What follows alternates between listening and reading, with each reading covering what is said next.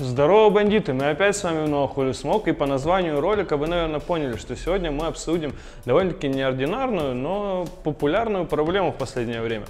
Я часто слышу, что многие люди в свое время завязали сигаретами, перешли курить кальян, и сейчас они стремятся к тому, чтобы бросить курить непосредственно это замечательное создание.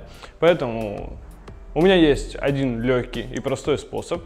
Им я сегодня поделюсь. Действительно, если вы хотите завязать с курением кальян, этот ролик вам очень поможет. Поэтому, что, поехали.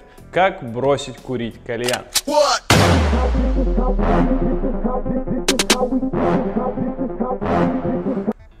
Никак.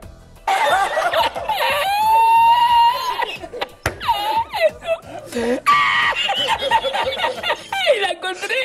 Скорее кальян тебя бросит, сучка.